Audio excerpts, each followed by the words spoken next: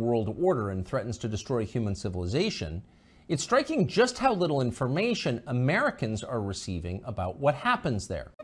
What? What? What? What? The nation of Hungary shares a border with Ukraine.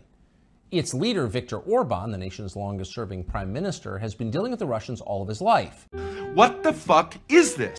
He grew up under Russian occupation. As a young man, he was arrested and thrown into jail by Russian backed police for his efforts to liberate the country.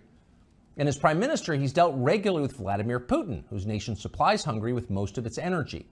Viktor Orban understands Russia and Ukraine. You're not going to speed past that like you didn't just say what you just said. Ukraine.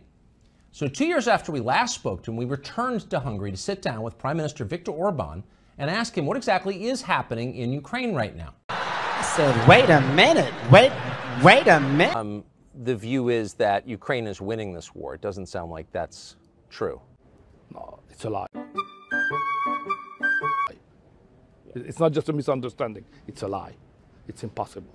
Everybody who's in politics and understand the logic, the figures, the data, no way. Why is it impossible?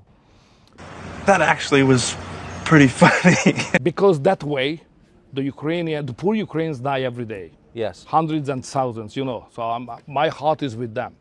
So it's, it's, it's, it's, uh, it's tragedy. It's tragedy for Ukraine.